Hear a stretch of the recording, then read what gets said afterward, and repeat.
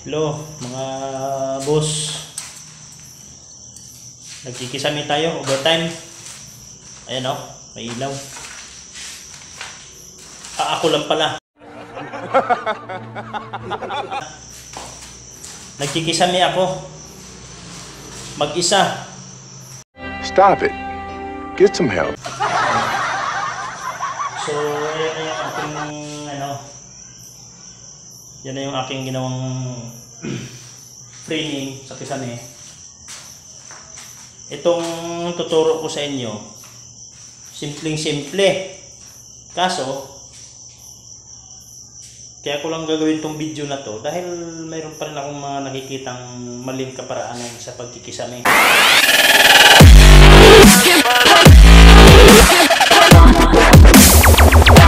Pag-uusapan natin ang tungkol sa cabinetry, masonry, carpentry, welding, DIY at iba-iba pang mga tips sa construction. Hindi na gumagamit nito. Oh. Siguro naman sa mga boss nating expert dyan, alam natin to. Pero sa mga hindi pa nakakaalam, butterfly clip to or tawag ng iba, W clip. Pero madalas tinatawag na butterfly clip. Saan ba 'to ginagamit? Sa mga hindi pa nakakaalam, ginagamit to para dyan. You know, mo. Oh. Kasi nang ito ang proper na pag install ng trim sa kisame. Gaya niya, no? Yan. Ito siya. Oh. Ginagamit yan dyan. Hmm. Ito, talagang actual ito. Kasi nga naman, yung iba, hindi na gumagamit ng carrying channel. Ito. Ayan, carrying channel yan.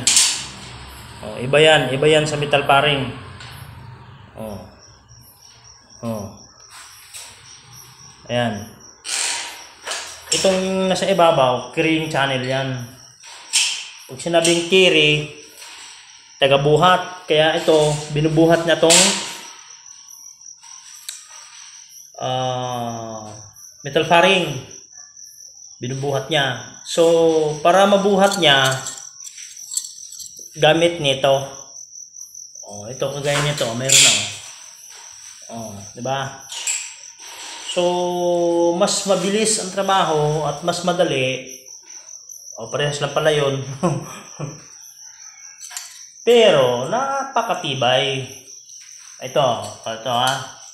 Sa mga hindi pa nakakaalam dyan. O, ito. Actual ko. Lagyan ko ng ano to. Ah, doble na pala to. Doble, doble. Hmm. Ito, ito. Itong kabila, meron na oh. Ito to. Pwede kong lagyan ng doble yan. Oh, ito, ganito lang oh. Oh. Oh, suksok lang yan dyan. Bisaya pa eh. Suksok ba? Oh. Ganun lang. Tapos, yung dulo niya, nakadesign talaga yan para kamayin lang. Oh.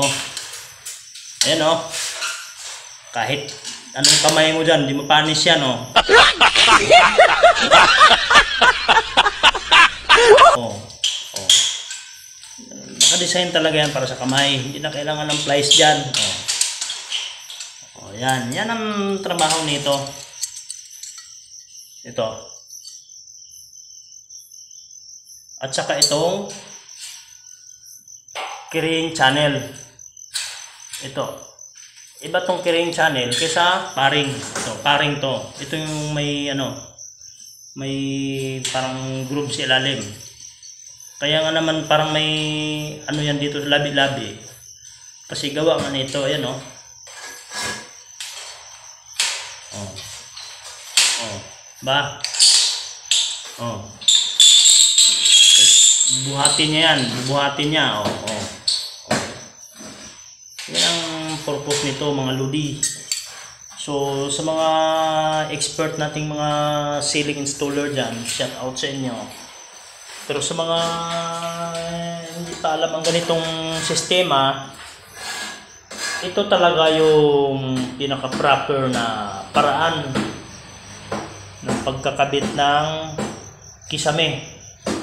Ginagawa ko to mga boss, mag-isa lang ako. Stop it. Get some help.